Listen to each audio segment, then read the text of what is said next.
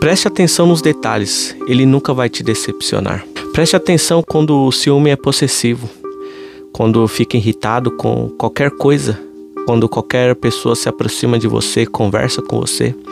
Preste atenção aos detalhes quando não permite, não quer que você converse com sua própria família, quando quer te privar de conversar e ter amizade com suas amigas, quando faz pouco caso das suas conquistas, ridiculariza a sua opinião e seu gosto, quando faz você se sentir culpada pelas reações agressivas dele.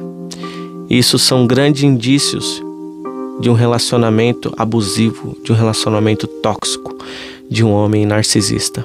Abra os teus olhos, procure ajuda e foge dessa relação. Ninguém nunca morreu de amor, até mesmo porque o amor não machuca, mas a ausência dele sim. Pense nisso.